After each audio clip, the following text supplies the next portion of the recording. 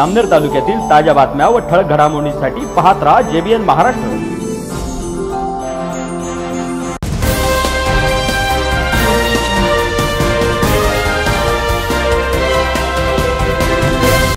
नमस्कार मी मिनल चौधरी. पाहूया काही ठळक वृत्त. भारतीय राज्यघटनेचे शिल्पकार महामानव भारतरत्न डॉक्टर बाबासाहेब आंबेडकर यांच्या चौसष्टव्या महापरिनिर्वाण दिनानिमित्त जामनेर शहरातील सिद्धार्थ हाऊसिंग सोसायटी जामनेरपुरा येथे अभिवादन कार्यक्रमाचे आयोजन करण्यात आले होते. या प्रसंगी डॉक्टर बाबासाहेब आंबेडकरांच्या प्रतिमेला पुष्पहार अर्पण करून अभिवादन करण्यात आले.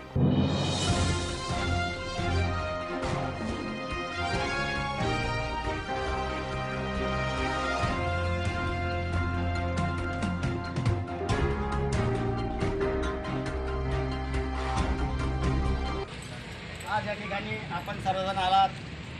डॉक्टर आंबेडकरां अभिवादन करण्यासाठी उपस्थित झालात. मी आजच्या दिनी आमचे पत्रकार बांधव यांचं स्मृती म्हणजे जागरूकता केला म्हणतो याददार तर बाबासाहेबांचे जे विचार आहे त्या विचाराच्या प्रती आम्ही जागृत व्हायला पाहिजे आणि त्याप्रमाणे आम्ही आचरण केलं पाहिजे. जिथं शिक्षित झालं त्यामुळे सुशिक्षितसुद्धा आम्ही झालं पाहिजे. आणि बाबासाहेबांचा जो धम्म दिला आहे त्या धम्माच्या मार्गावर एक टक्का दोन टक्का पाच टक्के तरी चालायचा प्रयत्न केला पाहिजे. तर आमचं कल्याण मंडळ झाल्याशिवाय राहणार नाही. तिथं जयंती आला की डॉक्टर बाबासाहेब विजय असो करून घ्यायचं आणि नाचकाम करायचं. तर तसं करता येतं ते विचार आपण आचरणात आणले पाहिजे. साधारण सगळ्या गोष्टीमध्ये सांगितलेलं आहे पंचशिलाचं पालन केलं पाहिजे. तर खऱ्या अर्थाने हे बाबासाहेबांना अभिवादन होईल. महिलांसाठी बाबासाहेबांनी आपल्या वडिलांवरच्या संपत्तीमध्ये बराबरीचा अधिकार भावाच्या बरोबरीचा अधिकार महिलांना दिलेला आहे. आज पुरुषाच्या खांद्याला खांदा लावून महिला पूर्ण आपल्या या भारतमध्ये भारत देशामध्ये सर्वच क्षेत्रामध्ये अग्रेसर आहे. आज महिला डॉक्टर आहे इंजिनियर आहे खासदार आमदार मंत्री राष्ट्रपती मुख्यमंत्री होते पंतप्रधान होते हे सगळे किमया आणि सर्व पुण्याई बाबासाहेब आंबेडकरांची आहे.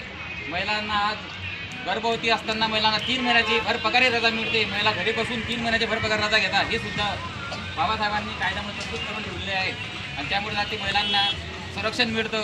जे काही संरक्षण मिळतं जे काही सर्व काही अधिकार प्राप्त होतात ते सर्व बाबासाहेब आंबेडकरांमुळे मिळतात. म्हणून आजच्या दिवशी बाबासाहेबांच्या या सर्व विचारांना कार्याला प्रणाम म्हणून कार्य आपलं आपल्या जीवनामध्ये या कार्याचा उपयोग करून सर्वांनी आज बाबासाहेबांना आदरांजली अर्पण करावी असं मी आप या ठिकाणी सांगतो आणि माझं हा जो दिवस आहे आणि आपण सर्वजण या ठिकाणी ज्या कारणानिमित्ताने एकत्रित आलेलो आहोत. हे आपला बौद्ध जनांना सांगण्याची काही म्हणजे आवश्यकता नाही आहे की आपण कोणत्या कारणाने इथे एकत्रित आलेलो आहोत. तर इथे मला दोन शब्द बोलण्यासाठी जी काही संधी निर्माण करून दिली त्याबद्दल माझे परममित्र मुंबई साहेब यांचं पुण्यानुपन करतो आभार व्यक्त करतो आणि दोन शब्द बोलण्याआधी जे आपले सर्वोच्च आदर्श आहे सर्वप्रथम परमपूज्य बोधिसत्व डॉक्टर बाबासाहेब आंबेडकर. आणि त्यानंतर बुद्ध आपले आदर्श आहेत. कारण बाबांनी आपल्याला बुद्ध दाखवलेले आहे बाबा नसते तर आपल्या जीवनामध्ये बुद्ध देखील नसते. सर्वात आधीचे आपले आदर्श जे आहे ते परमपूज्य बोधिसत्व डॉक्टर बाबासाहेब आंबेडकर आहेत. तर त्यांच्या स्मृतीला अभिवादन करतो. तर आजचा हा जो दिवस आहे तब्बल चौसष्ट वर्ष उलटलेली आहेत आणि या चौसष्ट वर्षानंतर देखील